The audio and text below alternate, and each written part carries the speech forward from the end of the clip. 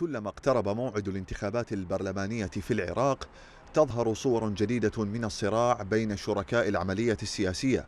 وصل بعضها إلى التشهير بمقاطع مصورة غير أخلاقية لمترشحات عن بعض الكتل على مواقع التواصل الاجتماعي. الأساليب المذكورة انتشرت كالنار في الهشيم وأثارت موجة انتقادات واسعة بين العراقيين الذين انقسموا بين ساخر وممتعض مما وصل إليه حال السياسيين في صراعهم مع بعضهم.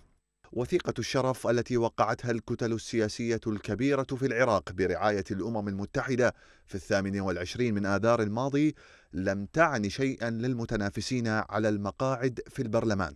فالوثيقة نصت في بنودها على عدم استخدام وسائل الإعلام والتواصل الاجتماعي لاستهداف وتسقيط المنافسين. كما ألزمت المترشحين بالتصرف كرجال دولة واحترام بعضهم البعض بالابتعاد عن التشهير والتجريح. أما عن تطبيق هذه البنود فيبدو أنها ذهبت أدراج الرياح سريعا. مواطنون من بغداد انتقدوا أسلوب الصراع بين شركاء العملية السياسية قبل الانتخابات القادمة وعزوا ذلك إلى الفساد المستشري في أجهزة الدولة وغياب القانون. عملية التسقيط السياسية هي عملية غير مرغوب بها في المجال العمل السياسي خصوصا في البلدان المتقدمة. وجدت أرضها الخصبة في العراق نتيجة الفساد المستشري بين الكتل السياسية والسياسيين.